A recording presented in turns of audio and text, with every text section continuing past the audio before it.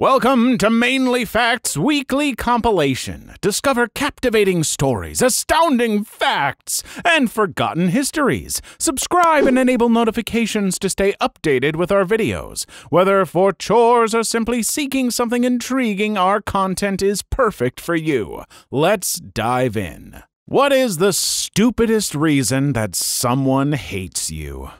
Oh man, you want some stupid reasons for someone to hate you? Just read some of the nastier comments I get in some of these videos. But honestly, I want you folks to know I read those and I laugh about them because still watching the video. I still got you. I don't know. I don't think many of you hate me. Honestly, so many of your comments are so positive and awesome. It really, really kind of makes my day. So I don't I I can't read all of them. There's so many, but you folks are awesome. So I don't hate you. Story 1.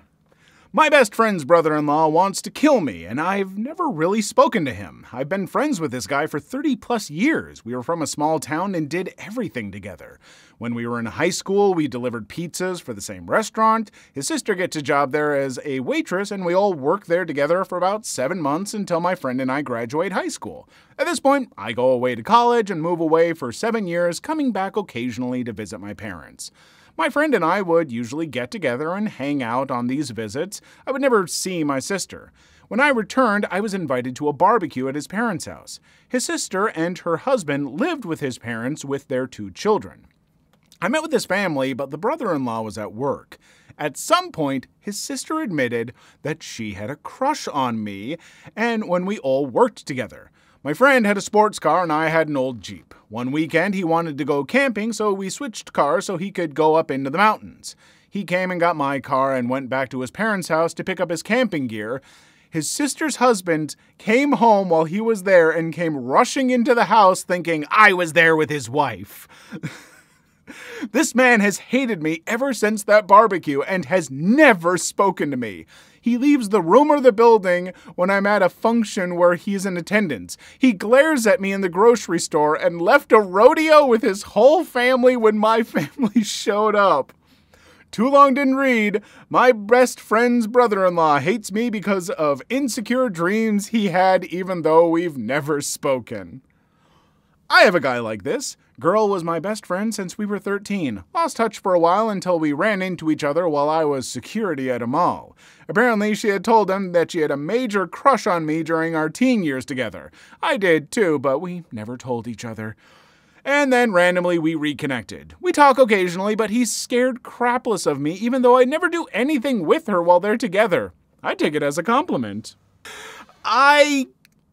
I can't wrap my head around people who are like this and are this jealous. Like, you have to be so insecure in your relationship. And if you're that insecure in your relationship, I feel like there there are problems that need to get sorted out. Like maybe you need to go to therapy and, you know, work on your confidence or maybe there's something wrong with the relationship. I don't know, but I just I don't get that kind of wild jealousy. But uh, I don't know. I'm just a chill, laid back dude. Know what I'm saying? What am I doing?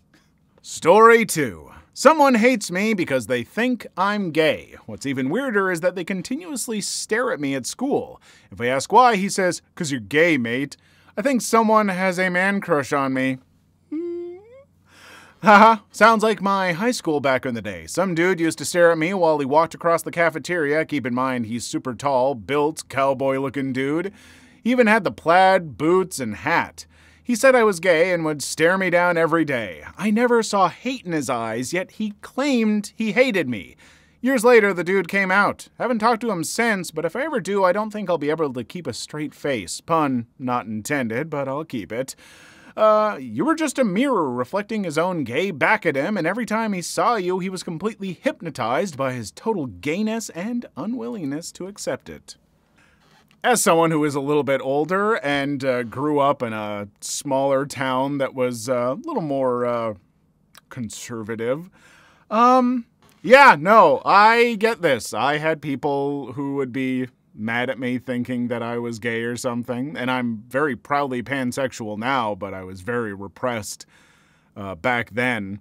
Um, but yeah, for some of those people, it is absolutely them repressing something that they are ashamed of in themselves, which is unfortunate. And I hope those people can, you know, get over that and accept themselves. And then there's some people who are just like that because of their beliefs or whatever. And uh, they just, they love being hateful pieces of crap. And to those people, um, I, I, I hope, I hope you all eat rocks. Uh, you know, why would you ever hate someone over that kind of stuff? You're just awful. Don't be like that. Story 3. I have two. I rejected this girl because I was already in a steady relationship with someone else, and she knew that. She made vlogs at the time and then went on a rampage in one of her videos stating I was the only guy she ever loved and that I crushed her heart. My girlfriend's parents kicked me out of their house because if anything happens in their home, they instantly blame me for the incident, even if it was not possible for me to do it. What pushed them over the limit was I was at a buddy's house and he lives down the street. I came back to my girlfriend's to grab a drink and they saw me run in and run out. They ended up freaking the F out on my girlfriend about it, all over a Pepsi.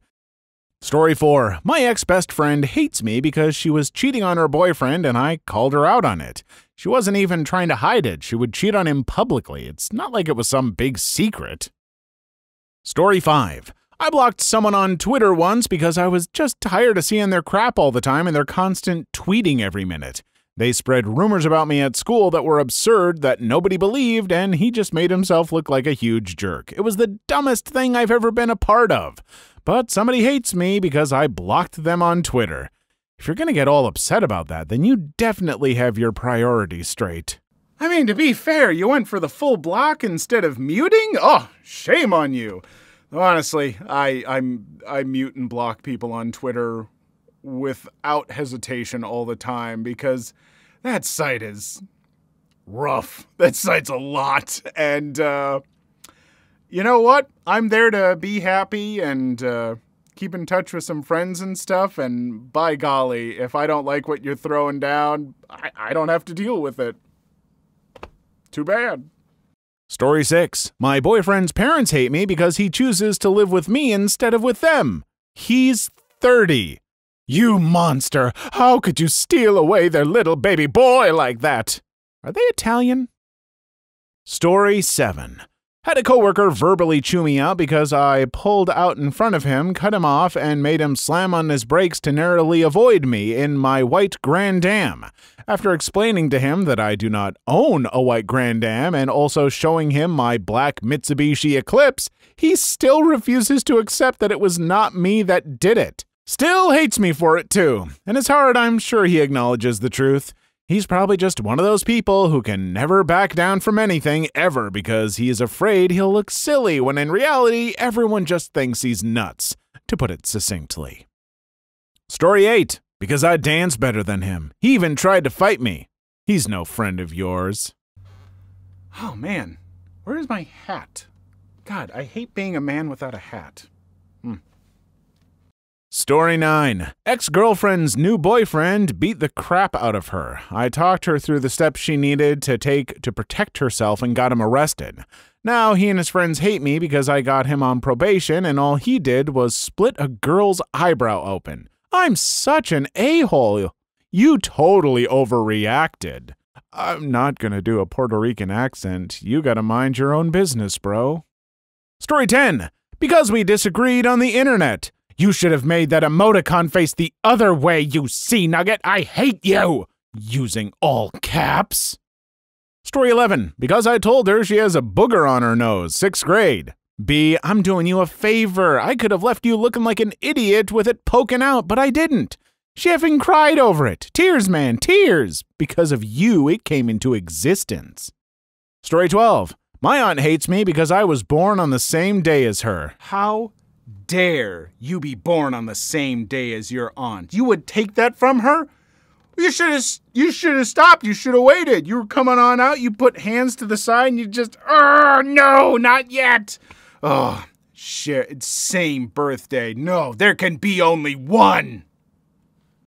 Story 13. I couldn't control a football smashed at me four feet in the air. A. Neither can you. B.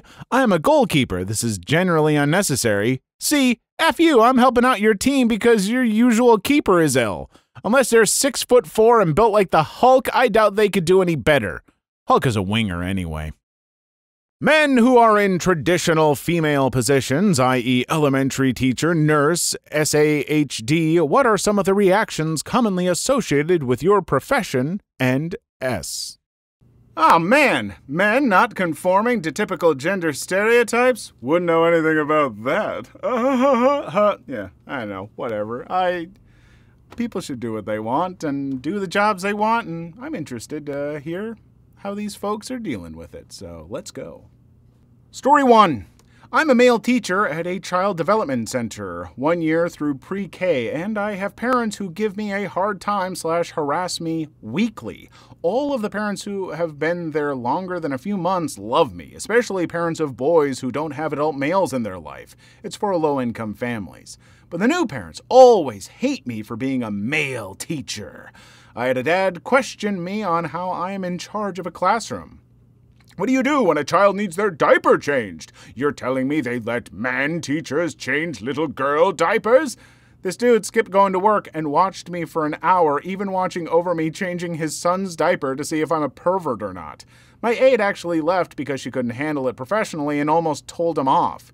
He left before my boss showed up to help, but in the evening she told me he needs to register as a volunteer and do a background check if he stays more than 10 minutes. About six months later, he apologized and said he was glad to see I'm still there. I could fill a book with all of the times I faced discrimination for being the only male at work, but this guy sums it up pretty well. Males are pedophiles and perverts until proven otherwise in our society. At least he apologized later on. A lot of parents seem to just stick to their guns. This is pretty sad to hear. And yeah, you don't see a lot of male teachers uh, below like middle school. I think you see some. I had uh, I had one male teacher in elementary school, and that was sixth grade. Um, and I think there was one more in my entire elementary school. Um, but, you know, I think that's something that should change, and I'm glad to hear that you're doing well and well liked. Story 2 Years ago, I was hired to be a personal trainer at a gym, but it just happened that the girl who worked at the daycare quit that same day. So I agreed to fill the position until they hired another daycare person. At first, the mothers who brought their kids in were like deer in headlights when they saw me in there. Most of them asked questions about if I was qualified or understood how to act with kids, and all of them made a point to stop their workouts periodically to make sure I hadn't, like, set their kids on fire or something. I'd probably be more offended if it weren't for the fact that I really didn't know much about kids, but fast forward a week into the job and they all friggin' loved me. I gave the best mother effin' airplane rides that very few girls could compete with. Once they saw that the kids really looked forward to hanging out with me there, their mothers relaxed and even asked for my schedule so their kids could visit me while they worked out. The only real downside was the fact that I ended up being good at the daycare meant that the boss neglected to find a replacement, and I never got to do any personal training at that job. I mean, cool, I'm glad that you did good at that job, but it does suck that you missed out on doing the job that you actually wanted to do there. Uh, that is unfair in its own way. Story 3 I've been a stay at home dad for a few years now. When I first started, my girls were still pretty young. They were about five, three, and one and a half years old. I can't remember how many times women made comments or did that passive aggressive thing where they ask a child who can't speak well yet a rhetorical question aimed at me. Oh dear, where are your shoes? Did daddy forget to put shoes on you? It's summer, lady. She's in a stroller. Or things like exiting the grocery store and an older lady comes up to me while I'm getting my girls to hold hands and look for cars in the lot. Are you okay? Do you need some help? I wasn't upset or yelling at them. I didn't look stressed out and about to lose it with my kids, but the tone of voice is the killer in these situations. It's pure condescension. You know, the voice is in the upper register with a big fake smile, drawing out the words, all sing song like.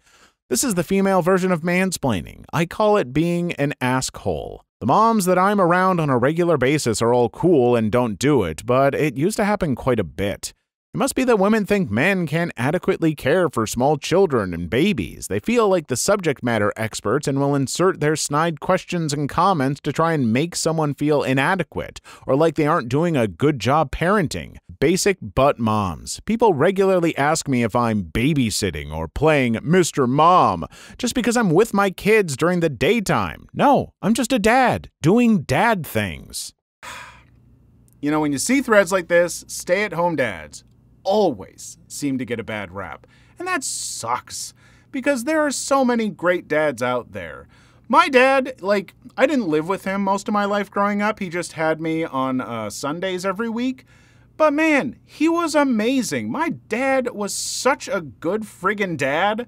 And if anyone were ever to question him, I'd be like, back off. My dad's awesome. So, yeah, stay at home dads out there, you're doing great. I hope. Story 4. Just got my BSN fresh out of nursing school. I currently work as a CNA while trying to break through to my first nursing job. My nursing class was about 65% female, 35% male, and that was considered high. A lot of people ask me when I'm going to be a doctor or if I've ever wanted to be a doctor. I have an aunt who's a pediatrician who straight up asked me why I want to be a doctor's assistant and why I picked a girl's job. I always thought she'd be more empathetic being a woman in what's seen as a male dominated field, but I guess not. I get a lot of questions asking why I want to be a nurse. This is usually par for the course being young and out of nursing school, but I can't help but notice I get the question more than women. I also know a lot of people are genuinely curious and don't mean anything by it, but I can't help but get defensive when it usually follows the why aren't you slash do you plan to be a doctor questions. On occasion, I get requests by patients to not be taken care of by male nursing staff, which I feel is completely understandable. I can't say I'm totally guilt free, though. I once shadowed on a unit where all staff was required to wear the same scrubs. I approached a Filipina girl and called her nurse only for her to tell me she's the resident. Healthcare is just very entrenched in its gender roles in general, but it's slowly changing. I've been to emergency departments where the nursing staff was majority male, but you still have your completely female dominated specialties like OB, labor, and delivery. Nowadays, you do have more men becoming nurses and women becoming doctors, which is great, but it's still going to take a while for the public view to change.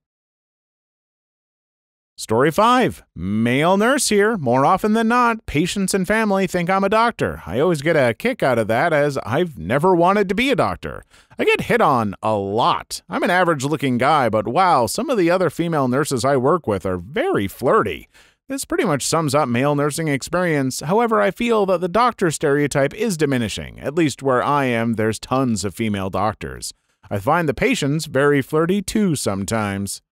I mean, you knew it was going to happen in this thread. Last two stories male nurses. As someone who was a male certified nursing assistant for a little bit, um, I didn't encounter a ton of this, but I think because a lot of CNAs in certain places kind of get more of the grunt work stuff.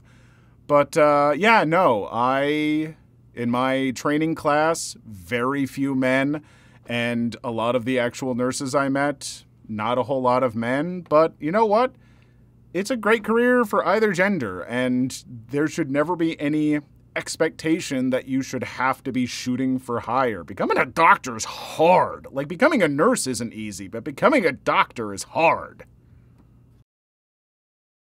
Story 6. I have a male cousin who's a preschool teacher. There was a petition going around to have him fired. He sued two people for going onto his town's forum and telling the town that he is a pedophile.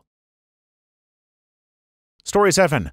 I worked at a craft store and was one of the only guys there with a mostly female customer base. While I was working the fabric cutting counter, I had a customer call a female coworker over and have her help, saying something along the lines of, At least we ladies know what we're doing. Yeah, I totally don't know a thing about fabric, despite both of my parents running an embroidery and printed apparel business and me working at the costume shop at one of the colleges I went to. Story 8 Male elementary teacher. Last year, a mom didn't want her kid in my pre K class because I was a guy, so they moved her. Oh well. Other than that, and some comments about how rare it is, there isn't much reaction. That's so lame. My favorite elementary teacher was male, fifth grade. Awesome guy. Had a class pet snake called Legs. Story 9. In college, I was chapel organist for an all girls private school, a position which has previously been held exclusively by females. The interesting reaction was that suddenly there were more girls than ever signing up for chapel choir and private organ lessons. Organ lessons? Uh, Story 10. I am a male preschool teacher with a big manly beard and a booming voice. I help in potties and do everything my co teachers do and have not had one bad experience. In fact, most parents, especially boys, are ecstatic to have a male teacher in the room. One thing I have to be careful about is my tone and demeanor. I can be scary at times, I'm told. Also, I need to not get caught checking out all the attractive teachers, which is tricky. Oh boy, be careful with those other attractive teachers. Oh man, big, burly, manly, friggin' preschool teacher. Uh, you know, I had considered going into uh, teaching when I was going to college. At first, it was going to be for uh, English education. Um, my dream was like high school or college level because I don't want to read middle school writing. I, um, but the other thing I thought would be fun would be like teaching like preschool or kindergarten because it would just be like playing with my nephews and nieces all the time. and I think that would be great. Um, I uh, they would not learn very much, but we would have amazing story times. Story 11. I work as an administrative secretary at a university. When I started here, a lot of the older faculty thought it was weird that a male would work as a secretary. They thought I had given up on being in upper management and settled for a lower desk job.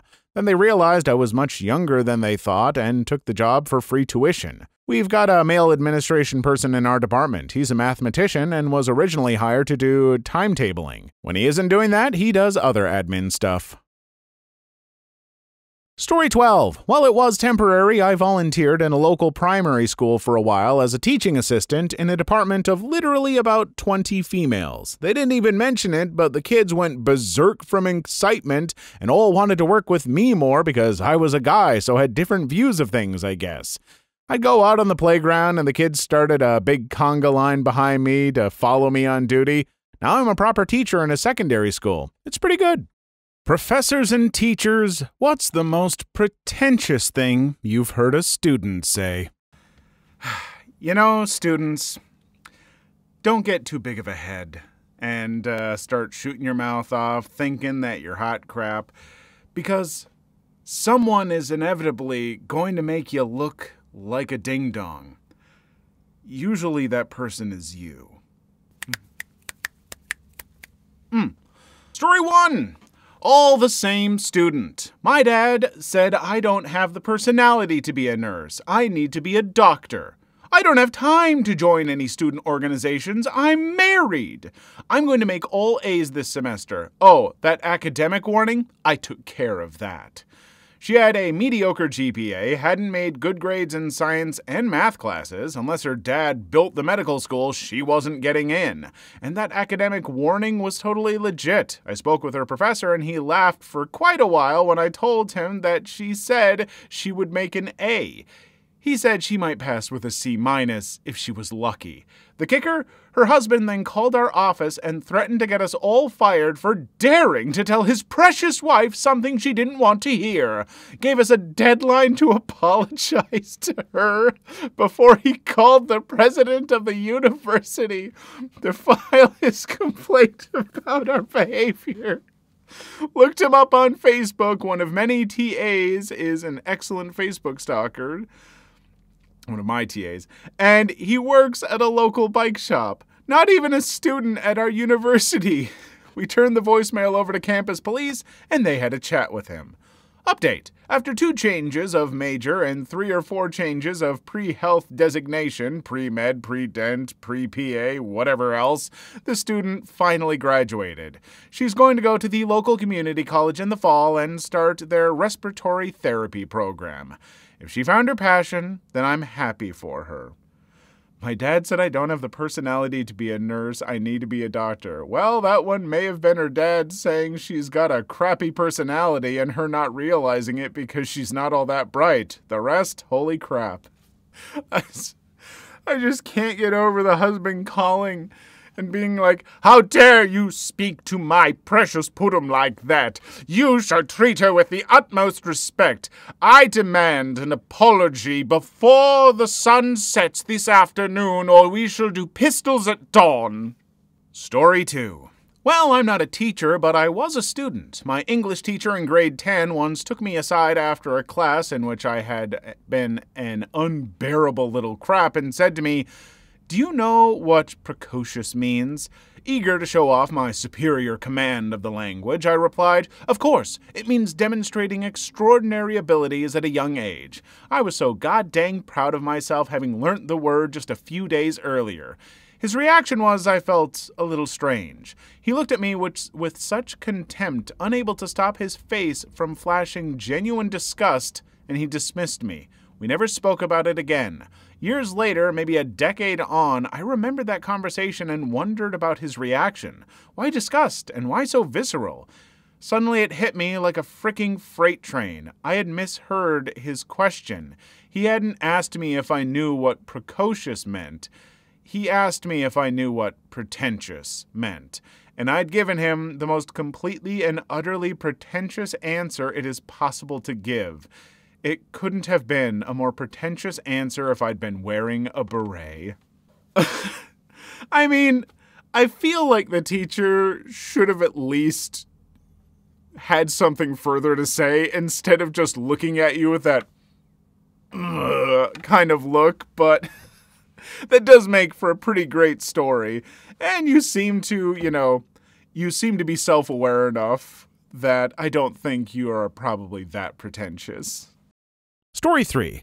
As an LMS admin, I hear all kinds of crazy stuff during grade appeals. Last semester, a couple of kids on a sports team were cheating in a class. Each of the five would take turns taking the test, first online and then in succession, so that while one may not get a great score, the rest usually did. So the instructor asks how to resolve the issue. We make the 30 question test randomized from 100 question pools. Immediately following the next test, we have a meeting with the dean. Apparently, the students felt it was unfair. Nothing happened to us or them, but the fact that they actually filed a complaint because the test couldn't be cheated on amazed me. At least they understood teamwork. Story 4. My first year teaching, I subbed in a grade 10 English class. It was September, and one of the girls in the class was heavily pregnant, so would have gotten pregnant in grade 9. All they had to do in this period was write one page about themselves. Easy sub lesson. So I'm walking around checking work, and this girl and her group have done crap all. So I pop over to them and remind them they only have 20 minutes left and need to get something written on their page. Without a pause, the girl looked up at me and said, Ms., Jesus didn't write his own Bible, now did he? I just walked away. Oh! My my dear, no. No, no, no. um I don't think that you want to say that because if you if you're a follower, if you're a Christian, that's a that's a pretty pompous thing to be equating yourself to. I know they say to try and act Christ-like, but uh, you might be taking it a little far there. Story 5. As a high school English teacher, I was counseling a freshman student, about 14 years old, that she should probably do some of her coursework. After all, she wouldn't want to come to her senses as a junior or senior and realize that she was a year or two behind in credits and wouldn't be able to graduate. Her response? Why should I listen to you? You make about as much as a garbage man. Lots of laughing, giving high fives to friends in class, plenty of other students to focus on in class. I just moved on to help others in class. Tough to convince a 14 year old to think ahead. Just checked her transcript. She's about a year and a half behind in credits. It's going to be very difficult for her to graduate this year. Wow, it would take all my self control not to respond, yeah, and the trash they deal with doesn't talk back. Oh, this is one of the reasons why I don't think I could have been a teacher. Because if I had kids like this, who are just like, why should I listen to you? You make as much as a garbage man. You know, I would keep an eye on those students. I would wait for them to graduate. And if I found out that they got stuck working some just crummy little dead end job, I would be a regular customer and I would I would never say anything, but I would always just smirk. And that's not healthy for either of us. That's not a good thing for a teacher to do, but I probably would. Story 6. Not personally, but while I was student teaching in a wealthy area, another teacher told me he heard a student say that their parents got them a crappy car, but it was just until they totaled it. Then, after they destroyed it and learned their lesson, they'd get a Ferrari. I don't understand how this would teach them a lesson. Crash your car faster so you get a new one, and possibly be injured and or die in the process. Story 7. From a senior who can barely read or write after I told him he needed to check his essay for spelling and grammar errors. Whatever, man, I'm going to come back here in five years and make way more than you. I said, considering I'm a public school teacher, I certainly hope that he'll make more than me. I'm going to be a rapper. Story 8. This is from a 16 year old student arguing about the grade she earned on a research paper. My essay doesn't need any citations because my opinions are fact. Holy frick. The teachers I had in school would have absolutely laughed in my face if I had said that to them, or anything remotely near that. Story 9. I gave a student a C on a philosophy paper, and she said to me, Do you know who my father is? To this day, I have no idea, but the grade didn't change. My father, the inventor of toaster strudel, will not be pleased to hear about this. Story 10. Next year, you're still going to be here BSing, and I'm going to be making it big in the real world. He got held back. He's not in my class this year. So many people underestimate the real world's ability to destroy even the most passionate, driven, and talented human beings. to all of you who are currently in middle school, high school, whatever, and you think, like, man, I got this thing down packed. The real world, I'm going to be ruling that roost. Uh, no, the real world is not fun. I mean, it's fun. It's not the worst thing in the world. I don't want to pretend like it's hell or something like that, but uh, it's not as nice as you might think. And boy, oh boy, if you think you're big crap in high school, you're just a little turd in the real world. Parents, what's been the most what the F moment that you've witnessed with how someone interacts with your child? You know, I said it in the last video, and I'll say it again here. Adults, don't be weird around kids. Like, and just don't, okay? Be cool. Talk with other adults and leave kids alone. Um, small content warning for folks. I'm pretty certain some of these stories are going to involve some uh, borderline creepers, but hopefully nothing wildly disturbing. So uh, just do be warned. Adults be creepy, yo. Why did I say that?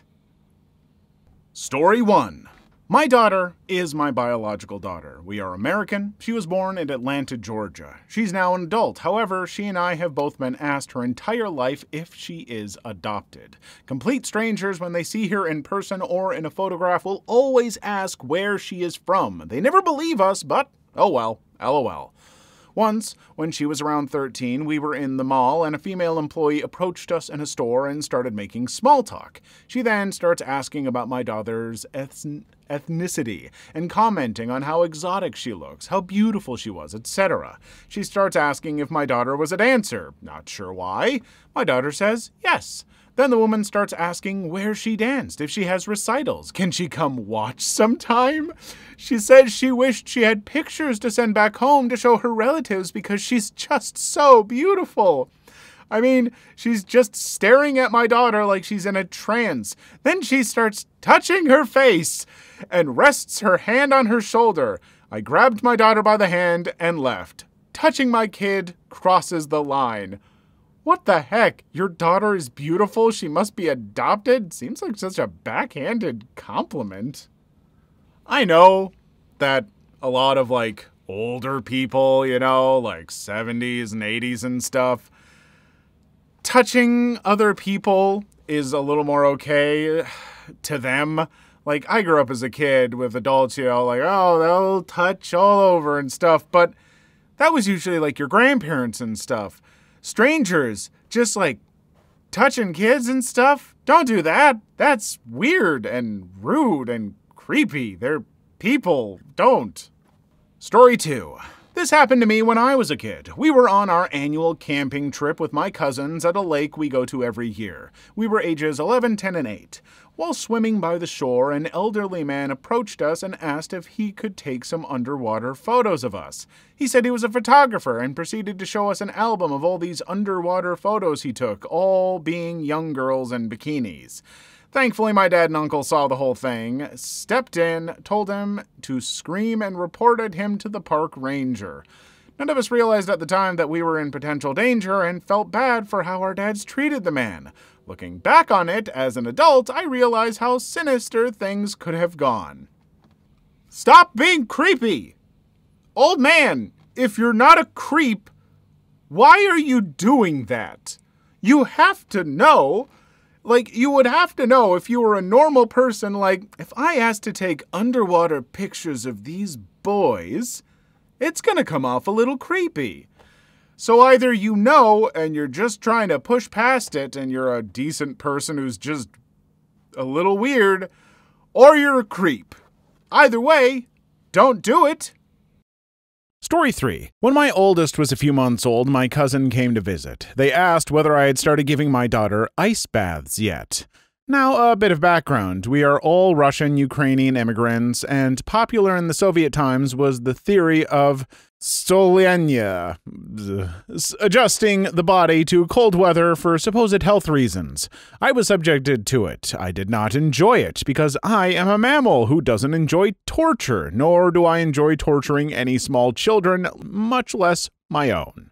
Anyway, no, I tell my cousin, and she launches into a long explanation of how they did ice baths for their son when he was an infant, and how he hated it, and how it was good for him even though he cried. I am sure the expression I wore on my face can best be described as, What the heck? My cousin's explanation peters out as she points at her husband and yells, He made me do it! Story 4. When my oldest was about two months old, I was still on maternity leave. I had a homeless, I suspect, woman approach me and ask if she could have my baby. We were living in a not so great area of a suburb of Dallas, a place where we'd sometimes get homeless 40 plus year olds trick or treating by themselves on Halloween. I had just taken my baby to the doctor for a checkup. It was probably a week after I'd been cleared to drive after an emergency C section. This crazy woman who I'd never seen on my street before and who looked and smelled like she hadn't bathed in at least a week approached me as I struggled to get the baby carrier out of the car. She said my baby was beautiful and asked if she could keep it for a while. I said no, so she asked if she could babysit. I said no thanks and made a limping break for the front door. I locked the door and called my husband for help. She hung out around the front porch for half an hour before he made it home. We moved away from that area a month later. Look, I feel really bad for homeless people, and I try to, you know, give to charities and help out in whatever ways that I can. Um, there are people who are often down on the luck, have been screwed over by society, and need a hand. That being said, if you're trying to get people's children and stuff like that, that's that's not okay. Like, I, I feel bad for you. I want you to get help. I do not want you to take someone's child, please. Story 5. My three year old daughter is allergic to strawberries. oh, my mother in law and aunt in law both know this and have been asked multiple times to not keep them where she can find them. A few weeks ago, I went to pick her up from their house and I found her sitting at the bar eating strawberries with them. I went frigging ballistic. They said they didn't see the harm, and of course not. They weren't the ones who had to comfort her for the following 24 hours while she was covered from head to toe with hives and having explosive diarrhea. I no longer allow her to be over there unless my husband and I are there too. I can't trust them not to do it again.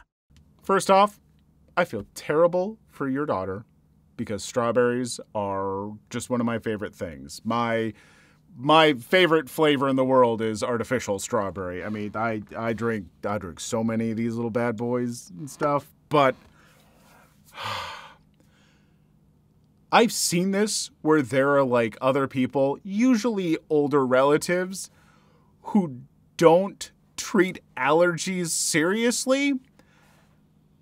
And I feel like those people need to be at least lightly smacked upside the head. Like, you don't get to decide what's serious for my child.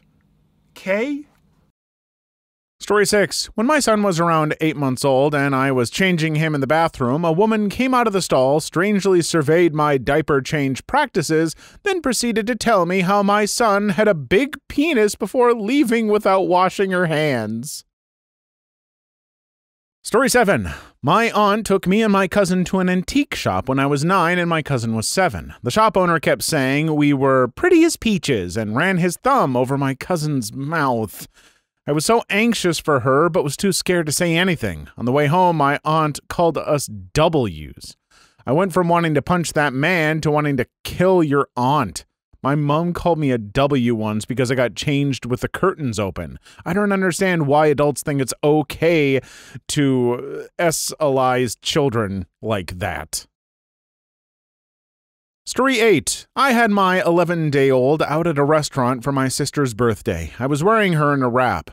A woman came up to me, commented about the baby, and tried to lift her out of the wrap, saying, It's okay, I work at a school. No, B, it isn't okay. Breaking into someone's house? Oh, hey, it's okay, I work as a housekeeper. Story 9. Apparently, when I was a baby, a woman came up to me on a train and said hi to me and played with me for a second, then took one of my feet and put it in her mouth. Oh, my parents switched carriages after that, thank God. What the actual frick is wrong with people? Don't do that. Serious. What was the worst experience you had in elementary school? I gotta tell you, elementary school was, uh, not a breeze for me. Uh, I was picked on a bit. I was the kind of, you know, geeky kid wearing button up shirts, cried a few times when some girls made fun of me. So I had uh, some bad experiences, but uh, nothing compared to these people. Story 1 my mother had sent me to school very sick one day, and I was having a horrible time, to say the least. Nauseous, fever, cough, but I couldn't stay home as she had a very important job interview, so I pretended I was a lot better than I was for her. About a half hour into school, I got this feeling in the pit of my stomach. Oh, God. I proceeded to walk over to where everyone kept their backpacks, where nobody could see me, found the nearest one, and puked inside of it. I was a stupid kid, so I looked around to make sure no one saw. The storage area was around the corner from the class desks, and they were having playmat time, so nobody noticed me. And I put the poor kid's backpack back on its hook.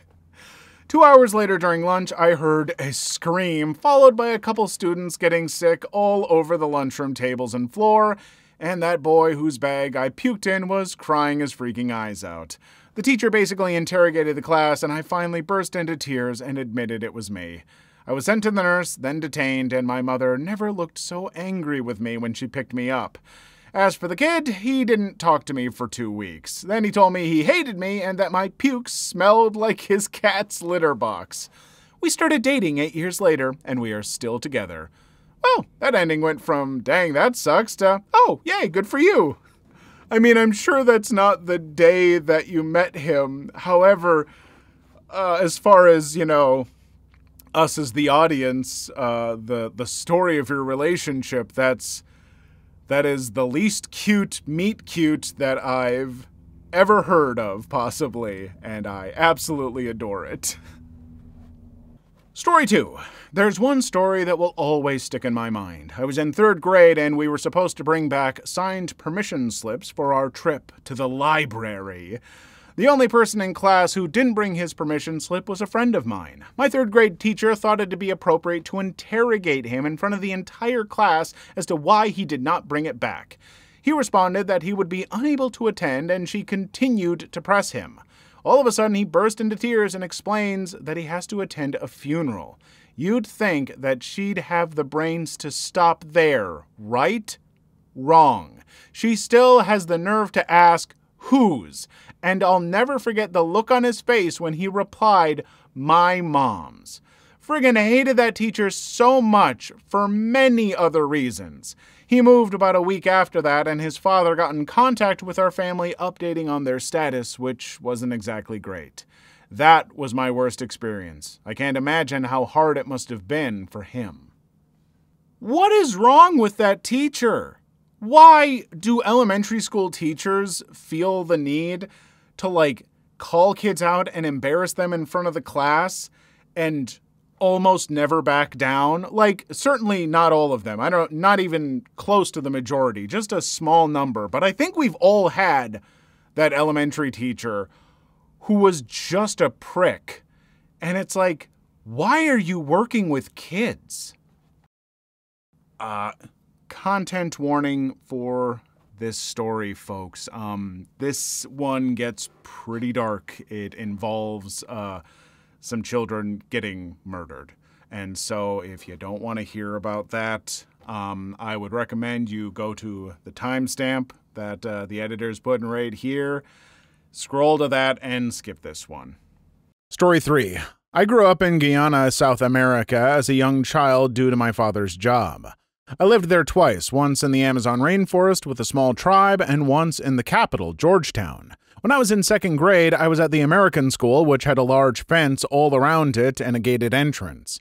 Once, two very poor, starving Guyanese children called out to myself and a couple of friends while we were playing at recess asking for food. We gave them some of our extra lunch from our lunch boxes and they thanked us profusely. Then, as they turned around and walked away, an older Guyanese man shot them both in the head and stole the food before fleeing as everyone started to panic.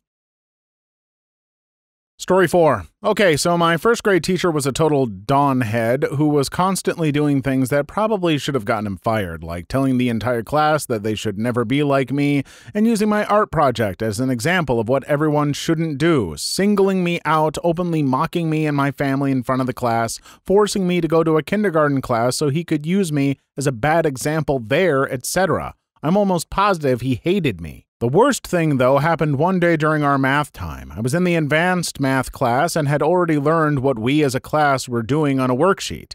Because of this, I worked ahead and finished it before the other kids. This prompted him to take my sheet, scream at me for working ahead of the class slash not paying attention, violently rip up my worksheet, throw it in the garbage, and make me start over. It was more humiliating than anything up to that point, and the only time I'd ever been punished for being smart. You know, I have so much respect for the teaching profession. Um, as some of you may know, I wanted to be a teacher. I went to college uh, for education for a while, never finished it. Um, but I think teachers are highly undervalued and, you know, not given the respect that they deserve a lot of time. But then you hear about crapheads like this people who should be fired from their job. Because as a teacher, if you are going to treat a child like this, you have failed on the most core level of your job. You truly have. And so you either need to really shape up and, you know, make some course corrections, or you need to quit or get fired. Story 5. I was bullied pretty mercilessly at the hands of another kid in seventh grade. He would call me a fat F or a R. I was chubby, but actually rather intelligent in hindsight, and kick me or shove me into lockers in front of my peers. Since I was always taught to follow the law and rules, I never responded with violence because I thought that he would get his just desserts from the school admin. When my parents complained to the school administration, rather than doing the sensible thing and punishing the little crap, the principal called us both into the office and tried to pin the blame 50 50 on me and him. And that's when the crocodile tears began to flow, and from that evil brat, as a lot of things he did to me, he began to claim as me being done to him. In the end, he got off scot free, and I got a 30 minute detention. I never trusted school staff after that. Story 6. In first grade, my best friend and I were horsing around, and as we were lining up to go outside to get picked up by our parents, he whacked me in the forehead with his lunchbox, and it started to bleed. I went to my teacher and told her I fell, and when she saw me bleeding, she freaked out, grabbed me by the hand, and practically dragged me outside, where she hopped around looking for my mom's car. Got some stitches out of it and a bad butt scar that eventually healed over as I aged. In third grade, I got sent to the principal's office three times in one day. Was not a good feeling waiting to go home. Story 7. I called my teacher Mom. I then tried to correct myself and referred to her as the names of several other teachers before shutting up and trying to phase into my chair. Once in fourth grade, I told the teacher I had to use the potty instead of the bathroom. Luckily, no one heard me because it was during a speech. Oh, oh, oh, the awkwardness. It hurts so bad. And yet, you might have called your teacher mom and then tried to make it look like an accident or whatever. But were you ever leaving the classroom like for the day and your teacher's like, like, you know, oh, but you know, bye, we'll see you tomorrow. And you're like, yeah, bye, I love you.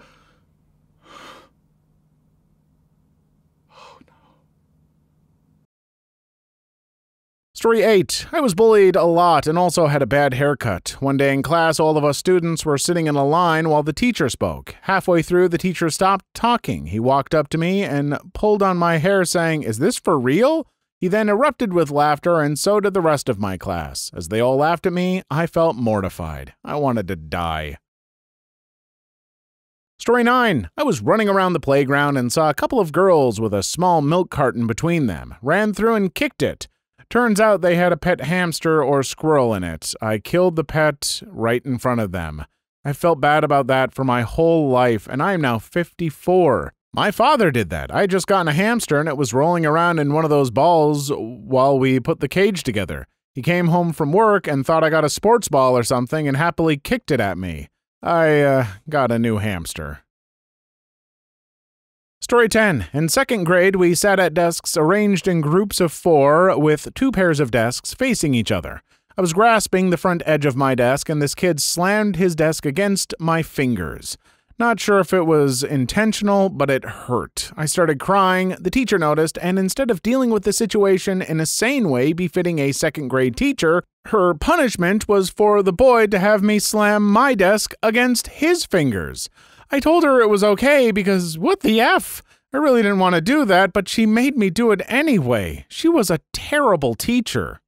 Good lord, real Old Testament eye for an eye, tooth for a tooth kind of teacher. Was that Old Testament? Now I'm thinking it might have been New Testament. I don't know, but uh, that's not how you teach anyone a lesson. That's. I mean, that's abuse. I laugh about it because it's just that absurd that that teacher thought that was the way to go about things. Story 11. Pooped my pants in kindergarten. Then I stepped on it. Then I proceeded to walk around the classroom. When asked if I did it, I denied the act even though the footprints led to me and my pants smelled pretty bad got sent home. Many of those kids probably don't remember, but some nights I lay in bed thinking what might have been if I just went to the bathroom. well, time to go into the old Mainly Facts office where we've got the little board that says this many days since last poop story. Time to put that number back to zero. Never seems to get to the double digits. Story 12. I got really sick once. My mother sent me to school despite the fact that I felt awful. I walked into the bathroom, threw up on the floor, and then proceeded to crap my pants. I locked myself in a stall until the teacher came, cleaned me up, and brought me to the nurse. Story 13. Had a teacher tell me I was a slacker when all I wanted to do was mind my own business. She constantly took me out into the hall because I wasn't talking as much as I should and lectured me about how I was disturbing everyone else. Even had my parents come in at one point. Sorry I was a quiet kid, lady. Story 14. I was trapped by a bully after school. His mates sat on me whilst the bully slowly and methodically broke all eight fingers. This was in third grade. Um, that's like beyond school bully and a little more psychopath. What is the most disrespectful thing a guest ever did at your home?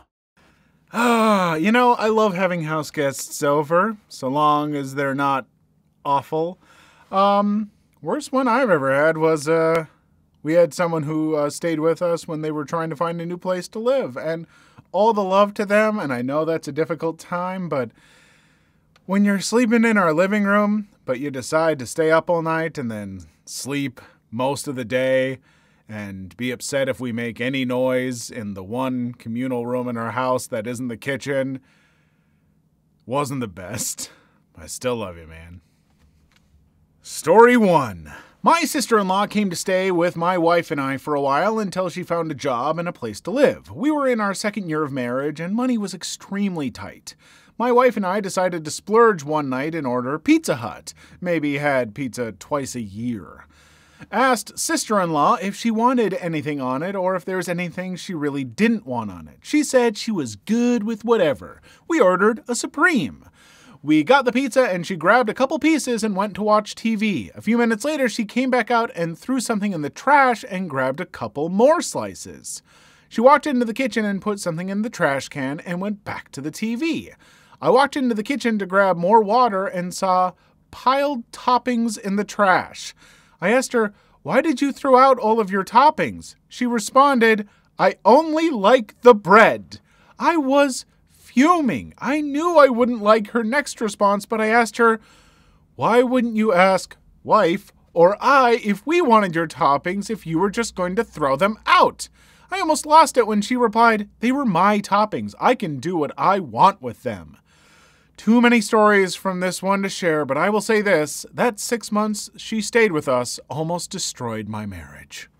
Folks, it is hard enough to find a roommate or a partner, spouse, girlfriend, boyfriend, whatever, that you can tolerate living with. That is one of the hardest things to do. And when you find someone that you love and you want to live with them, there are hurdles to get over. There's learning your different quirks and stuff.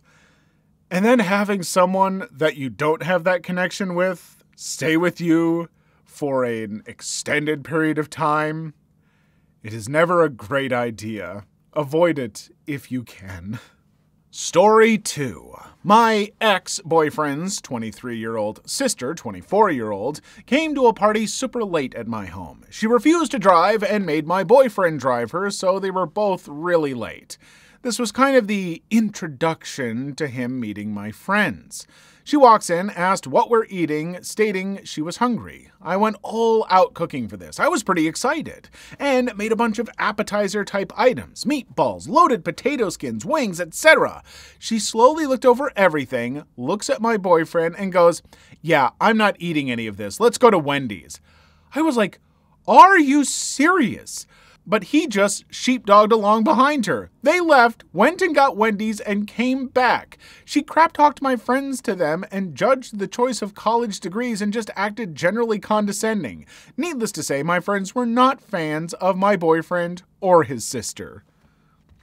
I gotta say, I'm not a huge fan either. That's really rude. And also, just look, I like Wendy's. Don't get me wrong. As far as like the older fast food chains that have been around for a while, Wendy's is way better than friggin' McDonald's, I'll tell you that much.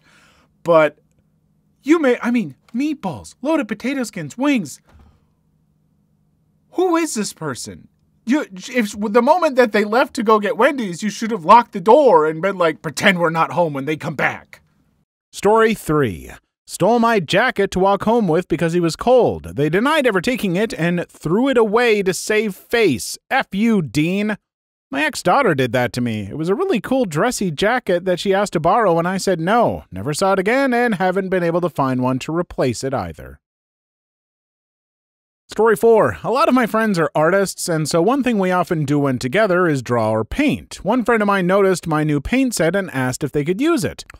Assuming they would be respectful and clean the brushes after I agreed to let them, however, they never did, and I had to get brand new brushes later that week. Story 5. Over the course of three days, they drank two one liter bottles of regular mead, two liters of the expensive stuff, four bottles of wine, a bottle of spiced rum, a flask of vodka, and a bottle of tequila. Three days. Jesus effing Christ. I had to check twice. I was angry, but also morbidly fascinated that someone could do this to their body and still appear sober enough to not rouse any suspicion. Edits. One, L for leader, not it. Two, this is one single person, and he put most of the bottles back after he finished them. We had offered him some rum on the first evening, and we watched him drink a tall glass of it like most would drink apple juice. The amount he drank would have lasted us a year or longer. That's a lot. Like, I used to drink a bit more in my early days, but I'm pretty sure if I drank that amount in that many days, I'd be dead. And I've known friends who could put away a lot. And that would, like, blow my mind for them. I think. I think your friend might have a problem. Story 6. My sister's friend kicked my cat because she doesn't like cats. I slapped the crap out of her and have no regrets.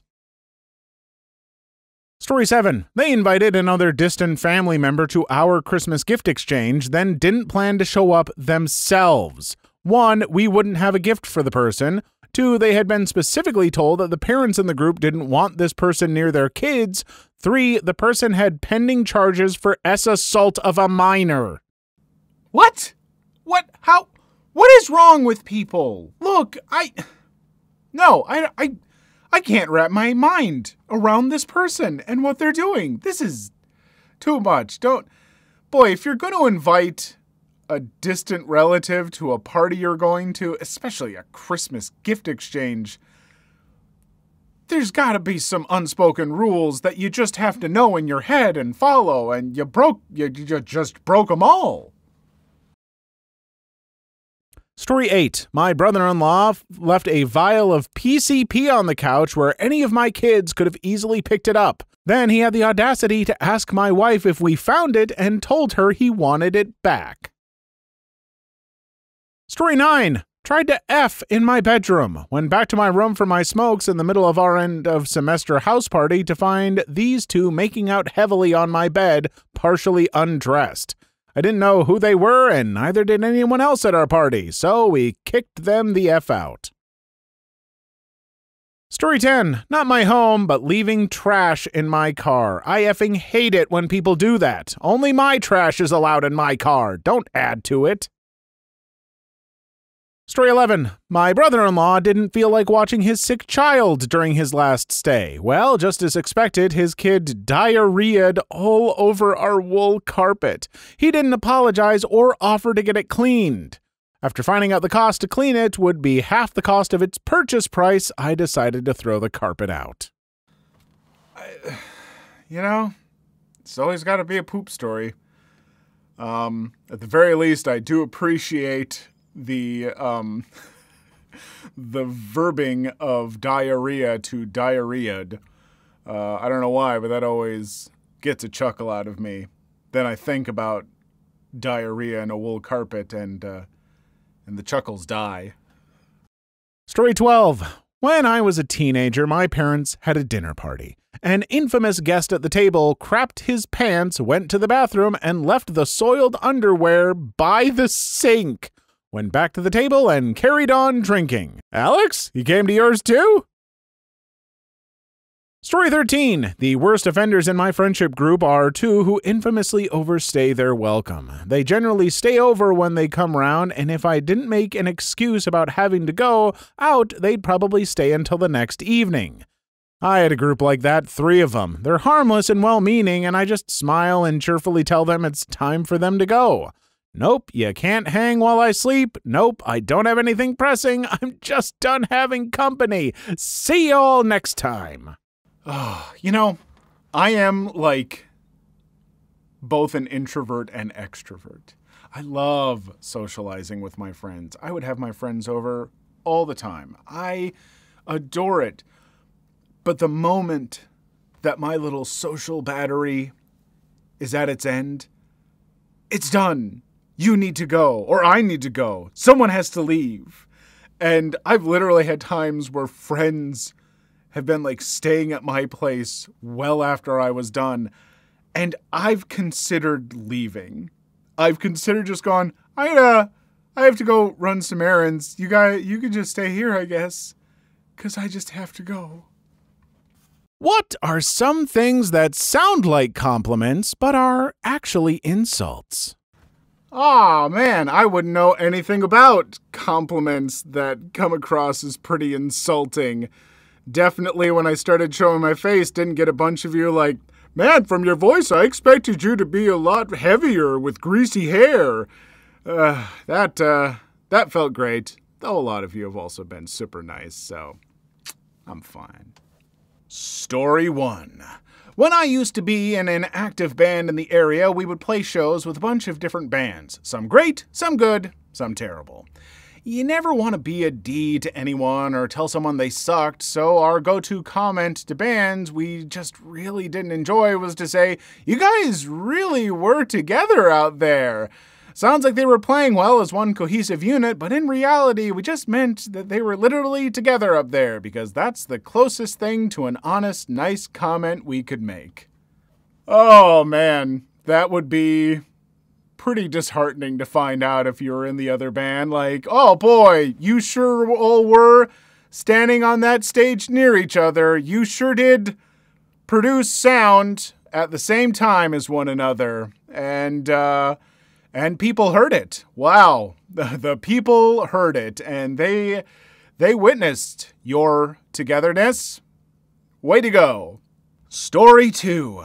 You were so pretty as a child. Oof, this hit this hits home.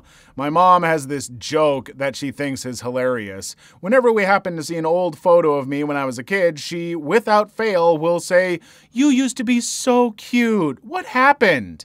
Every time. Literally cracks herself up with it too. If I show I don't think it's funny, she'll do the arm slap thing. Oh, come on, you know I'm just joking. What happened to your sense of humor? What happened to my sense of humor, Mom? Why, apparently it died away with my cuteness! Story 3. When my art teacher said great effort, there was a girl with mild cerebral palsy in my art class in high school, and the teacher stood behind her as she drew for a while and said, Wow, your self portrait may actually turn out to be all right. There was a very awkward tension in the room after that. Story 4. Wow, I'm so impressed. I didn't think you were capable of that. Respond with, Wow, you're much more aware than everyone else tells me. Story 5. I heard when the seventh episode of Star Wars came out, George Lucas gave a fairly backhanded compliment to the movie. The public will love it. Yeah, George, I would sure hate it if people liked a Star Wars movie. I don't have super strong feelings about Star Wars, but I gotta put a little jab in there. Come on, George. Those prequels? All these little apologists on the internet in the last couple years, they haven't convinced me. Those movies were bad. Shame on you. Please leave your story in the comments. I would love to make a video on them in the future. Also, don't forget to like and subscribe.